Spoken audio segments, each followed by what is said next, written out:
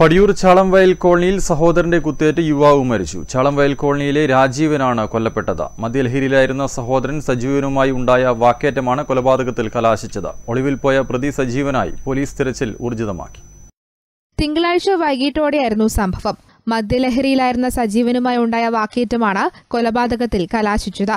പടിയൂർ ഹൈസ്കൂളിന് സമീപത്തെ ചാളംവയൽ കോളനിയിലെ വീട്ടിൽ വെച്ച് ഇരുവരും തമ്മിൽ ഉടലെടുത്ത തർക്കത്തിനിടെ വീട്ടിൽ മീൻ മുറിക്കുകയായിരുന്ന രാജീവിനെ കത്തിയെടുത്ത് സജീവൻ കുത്തുകയായിരുന്നു.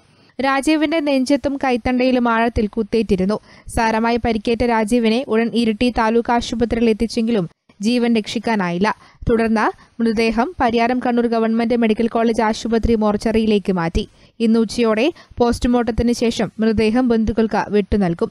നേരത്തെയും ഇരുവരും തമ്മിൽ തർക്കങ്ങൾ ഉണ്ടാവാറുണ്ടെന്ന് നാട്ടുകാർ പോലീസിനോട് പറഞ്ഞു. സംഭവത്തിന് ശേഷം ഒളിവിൽ പോയ സജീവനായി തിരച്ചിൽ ഊർജിതമാക്കിയിട്ടുണ്ട്. സജീവൻ ഷർട്ടിടാതെ പഴയ തോർത്തുമാത്രം ഉടുത്താണ് ഓടിപ്പോയതെന്ന് പ്രദേശവാസികൾ പോലീസിനെ അറിയിച്ചിട്ടുണ്ട്.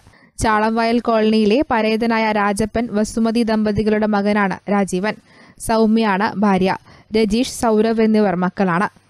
News bureau Irikkur